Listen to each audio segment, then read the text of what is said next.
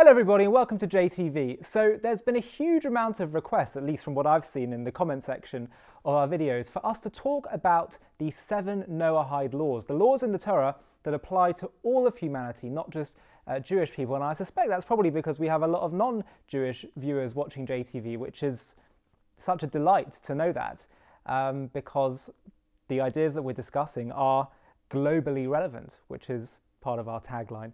Um, so let's talk about them. These are laws in the Torah that we believe that Jews say apply to all of humanity, not just Jewish people. So this is really relevant to everyone. So these laws began um, at the very beginning of human history, at the dawn of time with Adam and Eve. There were actually just six commandments at that point, from what I understand. And those six commandments were as follows Don't worship idols, worship God, obviously. Do not blaspheme God's name. Don't, you know, take his name in vain. Do not uh, uh, misconstrue who, who God is.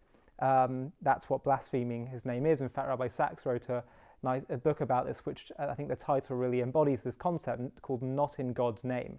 Don't do things in God's name that are don't represent or reflect God's or God's will. Don't murder, don't steal, do not commit sexual sins, and create courts of law to enforce these rules. The proof that these laws applied from the beginning of history is the fact that God holds Cain accountable for killing Abel. If, if the, you know, do not murder was not a a uh, commandment, then why would Cain be held accountable? But he is. After the flood of Noah, when Noah enters the world again after the flood, um, there is a seventh commandment which is added.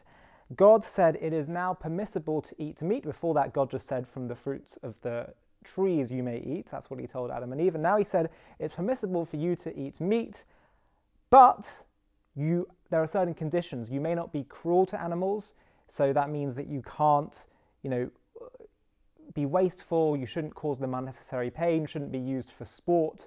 And so that's the seventh of the seven uh, Noahide laws, the seven laws that apply to all of humanity. Um, and it's given that name, I, I, I, believe, because Noah was the one that received um, these seven laws and this seventh law. Um, and so that's the seventh one do not be cruel or give unnecessary pain to animals. So there we are. So these are the seven laws that apply to all human beings. However, this isn't the end of the story because there's actually an extra condition that applies to keeping these laws. And this was brought to my attention by a video that I saw on this subject by Rabbi Manis Friedman. And he said it's not enough just to keep these, these laws or rules because there, a lot of people out there aren't stealing, they're not, they're not murdering, they're not worshipping idols, uh, at least in the traditional sense, although there's lots of modern idols that we worship. Um, celebrities, football stars, etc., etc., money. But the Rambam says there is a condition to all this the condition of keeping these rules in order to do it in a righteous fashion, in order for you to uh, be considered righteous, is that you should do it because God asked you to do it. Now, why is that so important? I mean, if you did kept these laws, if you didn't steal, if you didn't, you know, not murder, didn't commit sexual sins because it made sense uh, or because it's practical, um, what's wrong with that?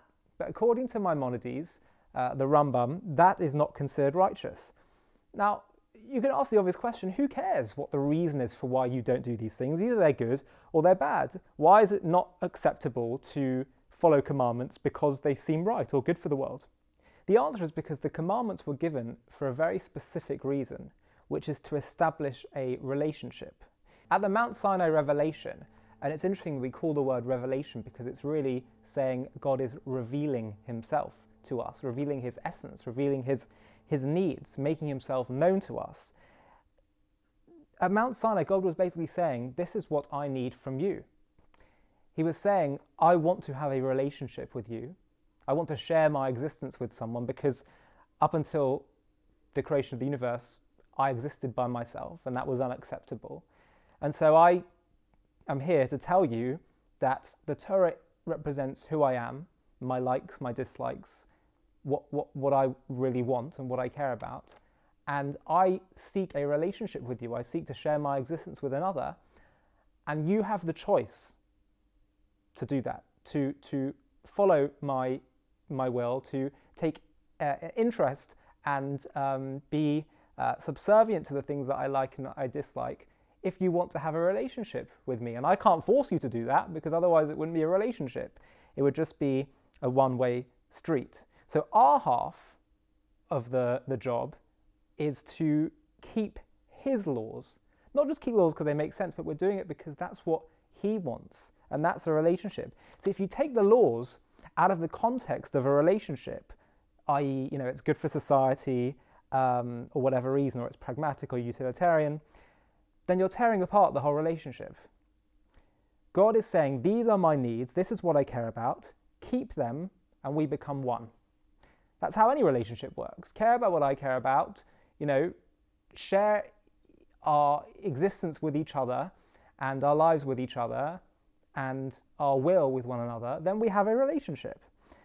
And without that, we remain separate.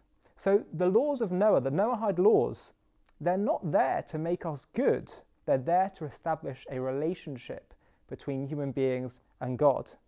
It happens to be that they are good for the world, but that's not the primary reason for them.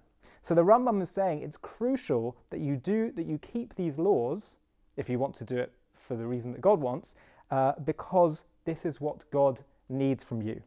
The Torah's laws, God's mitzvot, are there for God to become comfortable dwelling in this world, for us to be, for, for earth, for humanity to become one with God, for Him to be one with us. So that's the uh, caveat, the condition uh, upon which God asks all human beings to keep His seven laws, His seven universal laws. Because only if you're doing them because God wants it do you do it to establish a relationship with Him and to bring God down to earth. And when that happens, when all human beings follow these laws, which is what Jewish people have a responsibility to teach the whole world about, then on that day, all humanity becomes involved uh, in a relationship with God, each in their own way. And that is what we mean when we talk about the coming of Moshiach, the coming of the Messiah, the, Messi- the Messianic age, the perfect world in which all human beings are having a relationship with God and where God feels comfortable dwelling in this world. I'm Ollie Annisfeld, and you're watching JTV.